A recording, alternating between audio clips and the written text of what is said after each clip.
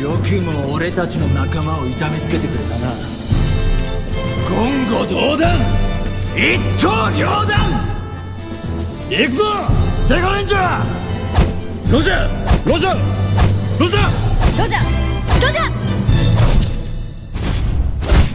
到着！ほら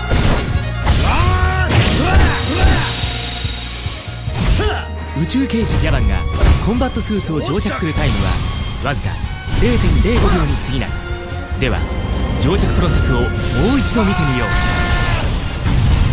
了解。コンバットスーツを転送します。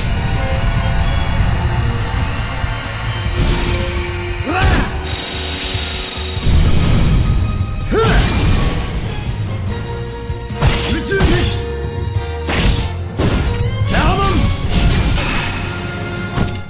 チェンジスタンバイ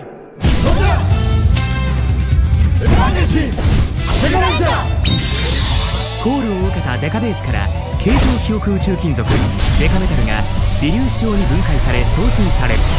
そして彼らの体の表面で定着しデカスイーツとなるのだ